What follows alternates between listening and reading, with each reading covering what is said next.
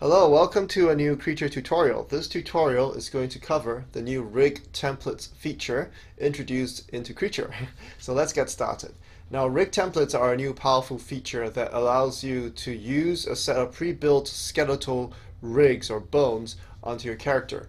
This means that you don't actually have to manually construct bones if you don't want to and just pick from a pre-built selection of rigs. You can either download a bunch of pre-built rigs from the website, which I'll show you in a moment, or you can actually construct your own character rigs, own skeletal rigs, export them and use them for later use. So it's a very powerful feature that you should consider using if you have tons of characters and you want to reuse skeletal rigs. For example, you might have different characters, various characters that all are humanoid bipeds, correct?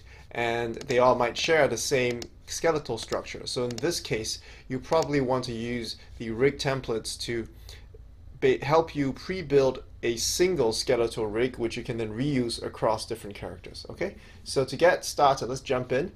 All you need to do here let's let's take a look at this character first. There's there are no bones as you notice on this character. I'm going to use rig templates to install a pre-built skeletal rig on this character. So first thing you need to do is move your mouse and switch to bone mode in rig in rigging mode and then click on the use rig template button.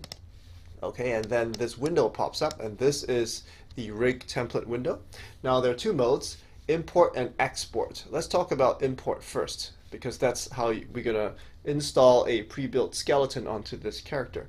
Now there are a couple of options on top.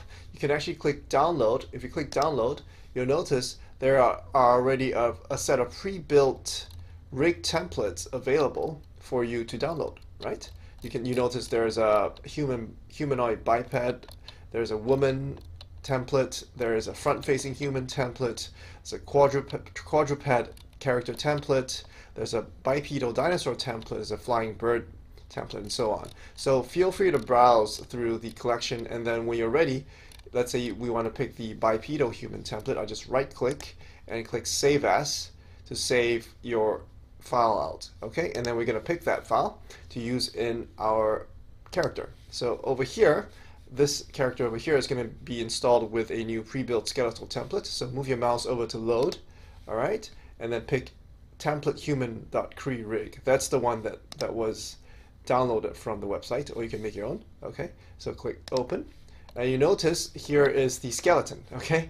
And of course, it's not aligned perfectly with your character. So all, all you need to do is size it down using the, the uh, different global sizers, right? So I can size down the human like so and you can also directly manipulate the bones to make them fit your character properly right? This this is typically what you want to do because the rig template might not fit your character perfectly but it's almost there. So it saves you the hassle of actually creating the bones directly manually. You can actually just use the rig template and then just go around there and slightly modify the positions of the bones to make them fit your your character. And there you have it. Okay, that's that's our bones, right? So that, that fits our character quite well. Okay, so now you have that. The next thing rig template actually helps you a lot is doing bone weight region assignment. So if you notice in the previous creature tutorials or when you're using creature, we have to assign regions to bones, correct? That's how we do bone weighting. We have to assign which regions go with which bones and how they're affected by which bones. Now, that process itself might be slightly tedious if you have tons of bones and tons of regions. So this is where rig templates actually helps you out too. So you notice for each pre-built rig template, there are actually a bunch of what we call parts in at the bottom of the, the window, right? There's a part called torso, leg back, arm front, arm back, head, and leg front. And what, what these parts actually define are a set of bones that you can associate with your regions, okay? So all you need to do now is to associate these parts with your regions, and then when you actually import this rig template, the skeletal template, Creature is actually going to automatically help you assign those regions to those bones, those set of bones. So this saves you a lot of time because you don't have to go in and manually assign each region to each bone. Okay, so let's start by going through how this process works. Click on torso, okay, and you notice immediately these two bones are highlighted. This means these bones are associated with the torso. And all I, need, all I need to do now is move my mouse over to the, this floating regions window, and I can select the regions, the mesh regions associated with the torso part. And that would probably be my body and my cloth. Yes? You notice it's, it's highlighted.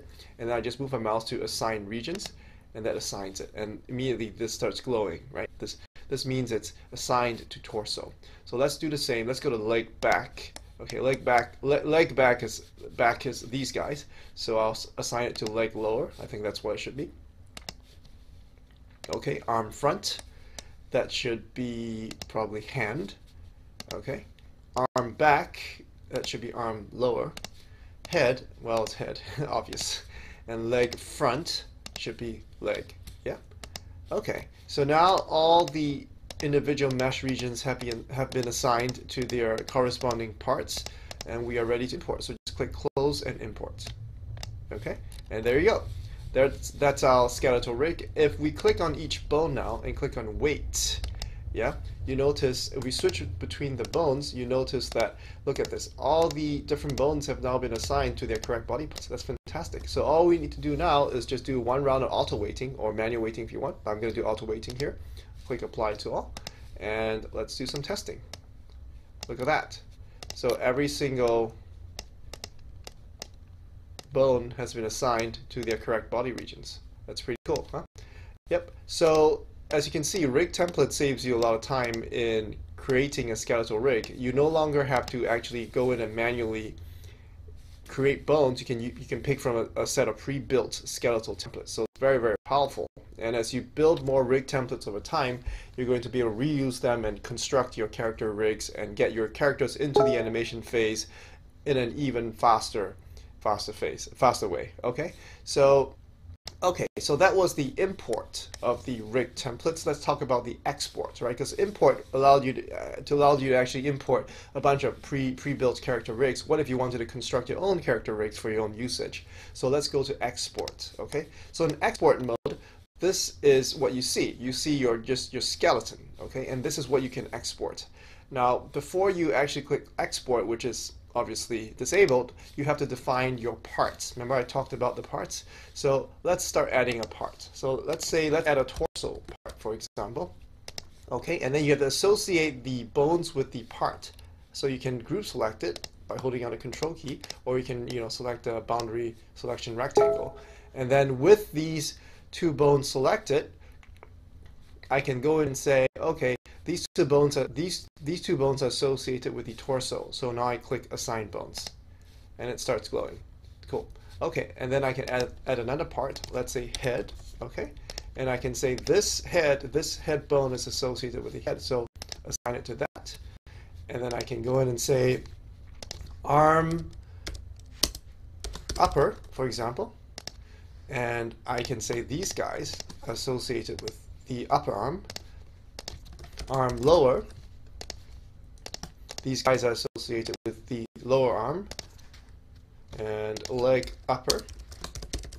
Okay, and these are the upper legs. And let's try leg lower, leg lower. and I'll assign it to the lower leg. And oh, I forgot to assign this guy, so this should be a torso. So let me switch back to torso and assign him. Okay, so now when I switch between the different parts, you can see all the bones are assigned to their corresponding parts, which I care about. Okay, and if you want to rename it, just click on that, the part, click on it again, you can rename it. Okay, simple. And once you're ready for that, click export, and you can then export your character or creature rig and you're done. And then you can go back to import and then import it for your late usage. Okay, so very, very simple stuff.